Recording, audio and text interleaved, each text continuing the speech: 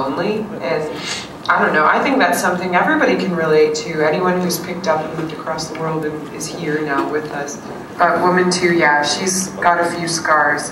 What do you think is the biggest driving force behind Man One? He's a leader. Like the biggest thing is that he's a leader. I think that he comes from just a troubled childhood. You know, we both didn't have great dads. He wants to lead, and he doesn't know how to lead. And he talks about his mom telling him, you know, son, you'll never have, really Yeah. have a great life. The character that, that I play is she's at times her story is a little bit tragic. She's just that typical girl who wants to be forever hopeful and wants to always bring that not only into her own life but into everybody else's. And she struggles to understand when people aren't that way, Yeah. aren't, aren't filled with hope, or uh, are in fact the opposite when they're just negative people or whatever. Through the course of her life, she seems to be constantly facing a new mountain or a new river to cross that is a real test of her hope and her faith, I guess, in the belief that there can be a great life out there for her somewhere and that she can find love. She wants to find love. She wants to be loved. She wants to have someone who openly shows her that they love her. And she uses a whole lot of different techniques and different thought processes to try and persuade herself that her reasoning and her desire for everything that she wants in life isn't crazy and that it is in fact possible. I think there's a reoccurring theme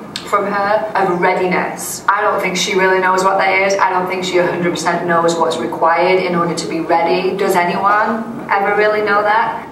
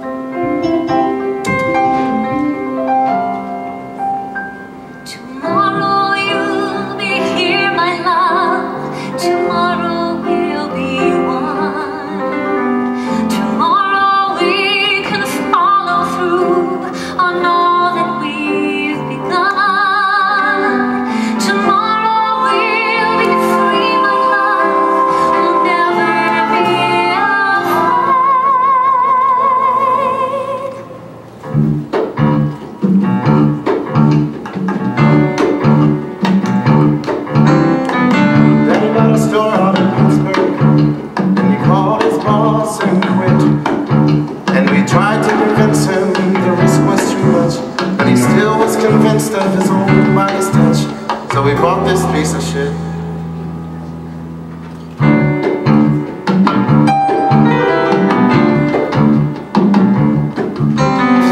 I picked up and went to Princeton with a scholarship in hand.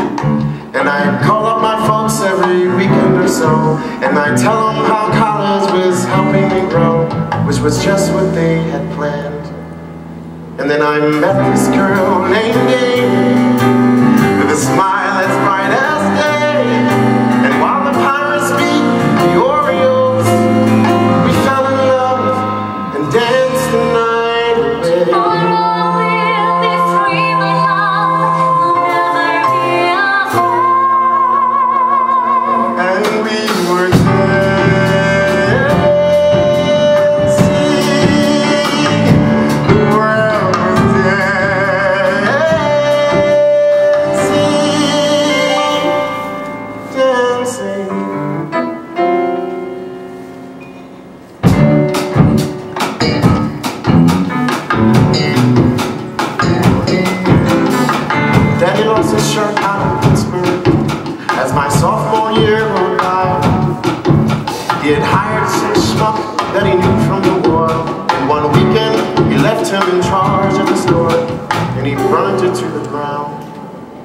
And then I met this girl named Lisa on a couch at Alpha Mu. And then she transferred to McAllister, which was just as well, because Amy never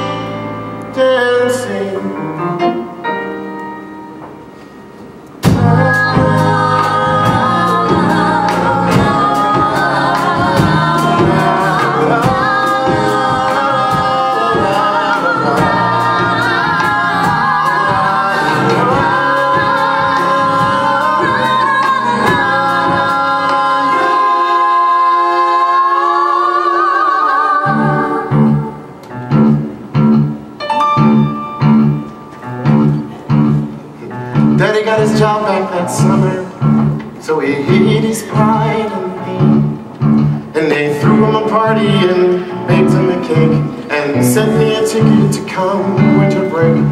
But I guess I missed the plane. And since I spent so long with Amy We got ourselves in the game.